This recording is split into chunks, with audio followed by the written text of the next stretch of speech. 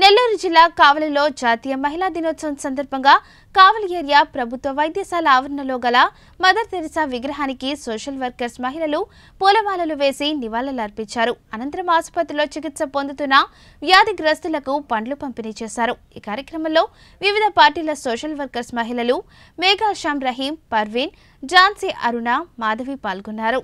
ఈ సందర్భంగా వీరు మాట్లాడుతూ రాష్ట్ర ముఖ్యమంత్రి వైఎస్ జగన్మోహన్ రెడ్డి మహిళలకు ప్రత్యేక పోలీస్ స్టేషన్ ప్రారంభించిన సందర్భంగా ఆయనకు కృతజ్ఞతలు తెలియజేశారు.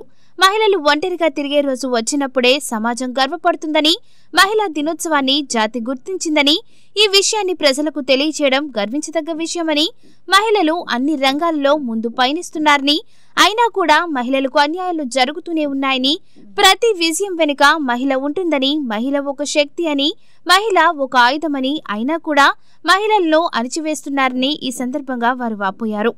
ఈరోజు జాతీయ ఉమెన్స్ డే సందర్భంగా మేమందరం ఇక్కడ ఒక చిన్న కార్యక్రమాన్ని ఏర్పాటు చేసుకొని గవర్నమెంట్ హాస్పిటల్కి వచ్చాము. గవర్నమెంట్ హాస్పిటల్ ముందుగా మదర్ తెరీసా గారి ఫోటోకి పూలమాలలు వేసి హాస్పిటల్లో పండ్లు కాయలు పంచడానికి వచ్చాము. మా చిన్న ప్రోగ్రాం అంతే. ఈరోజు మహిళ జాతీయ మహిళా దినోత్సవ సందర్భంగా మహిళలందరికీ ముందుగా శుభాకాంక్షలు తెలుపుతున్నాము.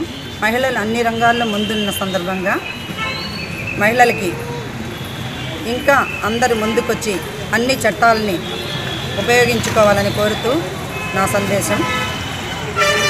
ఇంకోటి ఏంటంటే మా సీఎం గారు ప్రత్యేక మహిళా పోలీస్ స్టేషన్ని నిన్న ప్రారంభించారు కాబట్టి అందరూ దాన్ని ఉపయోగించుకొని ఆ సద్వినియోగం పరుచుకొని అందరూ మహిళలందరూ జాగ్రత్తగా ఉండాలని అన్ని రంగాల్లో ముందుకు రావాలని మా మహిళలు ఒంటరిగా తిరిగే రోజు వచ్చినప్పుడే సమాజం గర్వపడుతుందని అనుకుంటూ ఈరోజు జాతీయ మహిళా దినోత్సవం సందర్భంగా మదర్ తెరిసా విగ్రహానికి పూలమాలలు వేసి జాతీయ మహిళా దినోత్సవం గుర్తు చేసుకోవడంతో ప్రజలకు కూడా గుర్తు చేస్తున్నందుకు చాలా సంతోషంగా ఉంది. ఎందుకంటే మహిళా దినోత్సవం అనేది ఈరోజు మన జాతి గుర్తించింది మనల్ని దానికి మనం ఆడవాళ్ళంగా చాలా గర్వించదగ్గాలి.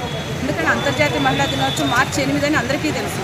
కానీ జాతీయ మహిళా దినోత్సవం ఈరోజు ఒకటి ఉంది అనేది ఈ కార్యక్రమం ద్వారానైనా ప్రజలకు ఎంతో కొంత మేము సందేశాన్ని ఇచ్చిన వాళ్ళం అవుతామని ఈ కార్యక్రమాన్ని ఏర్పాటు చేస్తున్నారు. అరుణ గారు ముందుగా ఈ కార్యక్రమాన్ని గుర్తించి మనం ఏదో చిన్న ప్రోగ్రాం చేద్దాము అని అనుకుని ఇమీడియట్గా చెప్పి ఇంతవరకు వచ్చినందుకు చాలా సంతోషంగా ఉంది. ఇంతవరకు జయప్రదం కావాల్సిందిగా కోరుతున్నాను రోజు జాతీయ మహిళా దినోత్సవం శుభాకాంక్షలు తెలియజేస్తున్నాను. ఇక్కడ మాకు గవర్నమెంట్ హాస్పిటల్లో ఇక్కడ మాకు మహిళా దినోత్సవాన్ని మహిళలకి గుర్తించిన రోజు. ఈరోజు ఆ గుర్తును మనం ఈరోజు గుర్తు చేసుకుంటూ మేము మహిళలందరం కూడా ఇక్కడ ఏరియా హాస్పిటల్లో మేము ఈరోజు ఈ కార్యక్రమాన్ని జరుపుకుంటున్నాము. మా మహిళలు దేంట్లోనూ మేము తగ్గలేదు.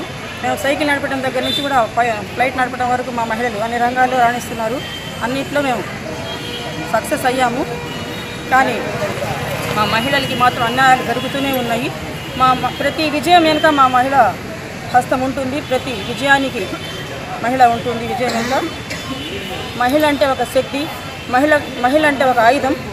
కానీ ఇలాంటి మహిళా శక్తిని అణిచివేస్తున్నారు కొంత- కొంత కీచకులు.